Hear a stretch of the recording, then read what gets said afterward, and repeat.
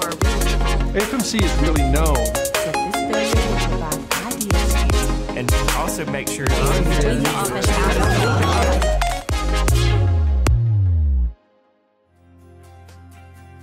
Hello and welcome into this week's edition of AFMC TV. We're glad you're joining us. Well, the holidays are right around the corner. We are on a quick run downhill into the holiday season. And what do we do?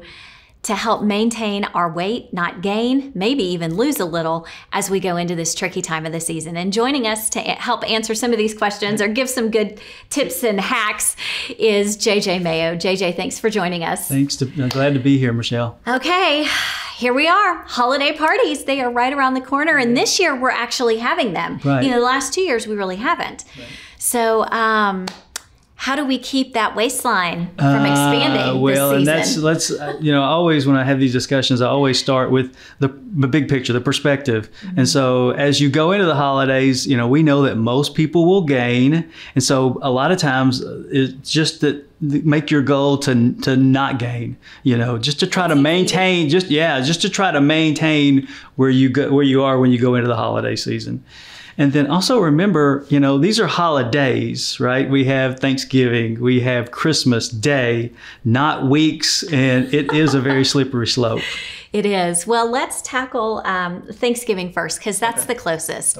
And we're talking about, my goodness, Thanksgiving at parents' houses, at in laws' houses, at f- you've got Friendsgiving that's taking place a few weeks before Thanksgiving. I mean, how do you keep it all in check? Because the chances that you're just having one turkey dinner um, is probably pretty slim. You may be looking more at like two, three, four.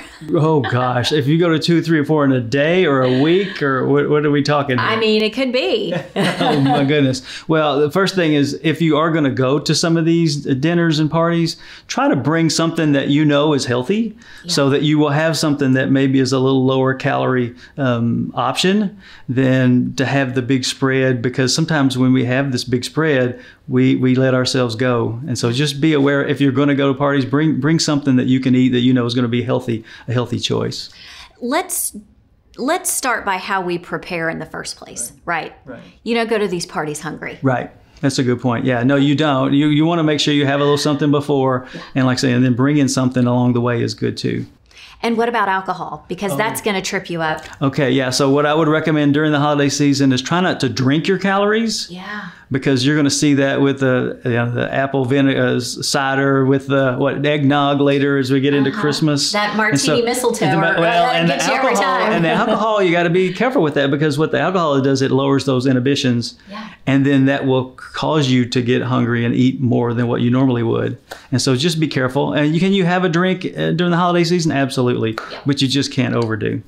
So as we are preparing uh, to go to any of these holiday parties, what do we need to do at home? What how early should we be looking at having a little snack? And and what kind of snack is the best to kind of get us through where we can still have a little nibbles here and there, but we don't have to feel like we have to load up our plate and keep going back. Mm, Yeah, so some of the types of snacks would just be something like nuts would be a good option. And you want to have these like maybe an hour, hour and a half before you go. And that's going to keep you full as you get to the party because most of the time there's going to be like a few minutes of just kind of hanging out and chatting before you get to the before you get to the meal. So, yeah, about an hour, hour and a half before you go. And what about uh, drinking water? Uh, you can drink some water. Yeah, drink some water, and and you know the bottom line is what you may also do is if you know you're gonna have this big meal, is go out and exercise before you know before you get there. So then maybe you feel a little better about having a few more calories. Okay. So Burn it before you yes, intake it. yes, exactly. Okay. Um, and then what about when we are hosting and having the party at our house? Um, y- as a as someone who enjoys entertaining, I always kind of want to sample everything before anyone else gets oh there. goodness. And so that can get you in trouble sometimes too. Yeah, no, I would, I would. Again, you gotta maybe taste a little bit of it, but you don't have to have a big serving, you know, of all the foods that you prepare. And you shouldn't put it all on you. I mean, you should have the people maybe that are coming to your house. Maybe you have some kind of potluck thing where people are bringing food and ask them to bring something healthy. Or what you could do is put a list, a menu, and have them say, "This is what we're going to have. What do you want to bring to the party?" Yeah, that's a good And, and put and, and you add the healthy foods to the list. And what about sweets? What about cakes? What Mm. about pies? We can still have them, right? You can still have them. Now, here's what I would say, and with anything regarding the holidays, is you want to eat foods that maybe you don't eat on a regular basis. Like, like for me, it's sweet potato pie, or yeah, a sweet potato casserole. I don't eat sweet potato casserole much at all, but maybe once during the holidays, I'll have some sweet potato casserole. Yes. And, I, and feel okay about it. That's what you got to do. You got to own it and, and plan, right? Maybe you, you know, eat a little lighter breakfast because you know you're going to have the big dinner. Um, and, and, but you it's okay to have that. You just can't do it, like you said, at four different holiday meals. Yeah, g- generally not. I mean, I guess you could, but Oh. then you are going to bust your waistline. Yes. And it makes January's resolutions a little tougher then. Um, anything final? A lot of a lot of communities will have turkey trots, little Right. five, fun 5K runs, family things. So again, if the weather's conducive, Yeah, I, I think that's the biggest thing. Get outside and, and, and burn off some of those excess calories that you're eating during the holidays. okay. JJ, anything else? That's it. I, I appreciate the time, and uh, you know I think you can uh, get out there and at least maintain and maybe even lose a little during the holidays. But but it Wouldn't is, that be takes something? discipline. Yeah, it takes Yeah. discipline. It does discipline and consistency Yes. of doing the right things. Yes. Okay, JJ, thank you so much. Thank you. Joining me now is Rebecca Denniston with Dermatology Group of Arkansas. Hey, Becca, how are you? Good, thank you. Good to good to have you here today. So, skincare cycling. I'm intrigued by this topic, and I may not be calling it by the correct name. Uh, You may hear there may be another name on the street that that refers to the same thing. What are we talking about? Yes, so it's this kind of newer phenomenon about using products that you may not be able to tolerate every day. And so, um, that's kind of in turn changed into the skincare cycling.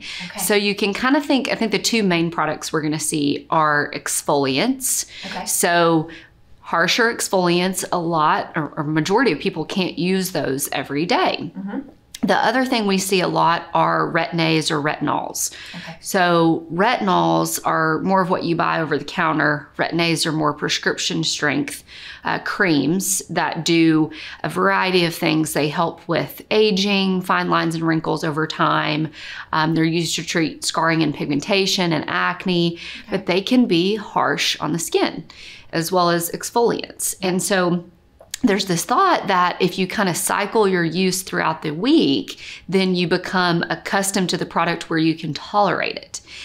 So, yes. So, the thought, the biggest way that I see this is with retin-A's. So, I'll have patients come into clinic and they're like, well, I, I can't use that cream. It just dries me out. It, it makes me peel.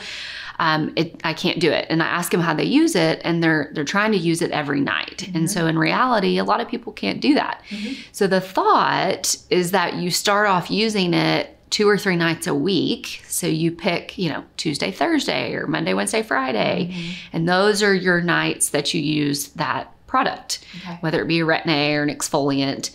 And usually your skin can tolerate it that way. Now, if you can use it every night, that's great. But for most people, it's two to three nights a week and that's it. And so that's this newer kind of phenomenon is you're basically cycling those harsher products so that you can tolerate them. And are you doing both? Uh, like like if you're using the exfoliant Monday, Wednesday, Friday, are you doing retinol ARB Tuesday, Thursday, or is it pick one and Yes. figure out the pattern that's best for you? That's a really good question. I think if you're doing a prescription strength retin-A, we really don't recommend using exfoliants. Um, retin-A's are they're more harsh. That you can kind of think of them like a natural exfoliant. So most people don't do an exfoliant with a retin-A. Now, if you're doing a retinol, which is more of what you're going to see over the counter, a lot of times you'll be able to use an exfoliant with that. Maybe on the nights you don't do the retinol. Okay. So That's very interesting. it is. And it probably helps to, I mean, it, it gently kind of makes your face a little more immune, if you will, Yes. to the products that you're using. Yes, that's right. And, you know, a lot of times um, people will take breaks from those products in the summer because they're in the sun. And um, so fall, winter is a really good time to restart those products if you're not using them. And so easing into the product can really make a big difference instead of just jumping in full force, you know, using it every day of the week. Okay. So this may be a silly question, but um, the men in our lives, Yes. I mean, are they doing this too? Are they or or maybe not are they doing it, but should they be doing it? Yes. I think as far as retin-A's, really everyone should be using a retin-A. There's really not a reason you shouldn't be. And there's so much in the literature about the the products um, you know really help with aging and sun damage and kind of reversing the sun damage. And so anyone can use it. Um, I really think men and women both should be doing it. Speaking of sun damage, of course, we've come out of a really trying summer, very Yes. hot summer. Um, what are you seeing in the clinic as far as procedures now? I mean, we're going to blink and holiday parties are upon us. Right. And um, you may, people may be noticing brown spots. Right. And, and so they want to look their best at these parties Yeah. and for pictures and things. Exactly. So what's, what are some of the things you're seeing? Yeah, I think so. The way that I kind of talk to patients about it is the least to most aggressive types of procedures that you can do. And so um, a lot of times those correlate with downtime. Um, and so, you know, in the summer, we don't really see a lot of cosmetic procedures. I mean, there's definitely some things you can do in the summer, but it really amps up in the fall and winter. And so some of the lesser aggressive procedures would be chemical peels. Um, chemical peels are a really nice way to kind of take off some of that sun damage, exfoliate the skin, help with you know texture and tone. And they do a lot of kind of surface benefit. Um, bleaching agents are another uh, kind of treatment that you can do, especially for brown spots. Um, in the fall and winter, there's an ingredient uh, called hydroquinone. That's the main ingredient in those types of creams. They're usually prescription, um, but those can help fade brown spots over time. Would those brown spots then come back though? Yes. Okay, so this Yes. is just a temporary. It's temporary, and really all chemical peels, um, bleaching agents, lasers. If you get back out in the sun after you do those procedures, the brown spots are going to come back, and so you're really always going to have to be doing something for maintenance. Um, but like I said, fall winter's a great time to do it, and Yeah. um, there's a lot of really great laser procedures now that treat brown spots and pigmentation, um, and a lot of things that don't have a lot of downtime. And so that's one of uh, you know a lot of the problems with aggressive lasers is downtime, but there's some lighter lasers that you can do for pigmentation that um, really are pretty quick procedures, and you're good to go the next day. Not bad. yeah. When we are talking about brown spots, I because I, want to go back to that for a minute. What? How do they develop? Do they develop over time, or is it just something that you know? Boom, there it is. Yes. You turned a certain age, and voila, they showed up to the party. Yeah, I think it. So it depends on what type of brown spot it is. So um, there's pigmentation change you can get on your skin called melasma. That is a, a brown kind of coloring to the skin, usually from sun exposure, and, and it's due to hormones. So we see it more in females. Um, you're going to see it in pregnancy a lot. They call it the mask of pregnancy because you you tend to get this kind of mask across the face. Oh, interesting. Yes, and so that is more hormonal, more in females. Um, then you get into sunspots, and those are usually from cumulative sun throughout your life. And so, uh, you know, the standard freckles you can get at you know any age, but when you start to get larger sunspots, it's usually due to sun exposure throughout your life. You know, bad sunburns as a kid, um, and so a lot of it has to do with the amount of sun exposure you've had, and then also genetics play a big role in the type of brown spot you get. Okay.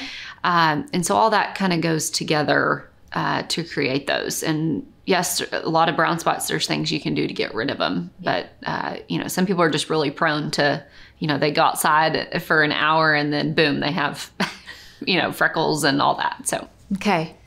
All right. Um, is there anything else that you would like to add? yeah, I think so. Really, if, if you're looking at skincare um, products, things you can do at home, I think a retin-A is or, or a retinol is a really easy additive that you can do to get a lot of benefit over time. Um, and, and it's very inexpensive. And so that's an easy thing. And then, you know, really talking to your dermatologist about other procedures. Um, you really want to make sure you're doing something that's right for your skin.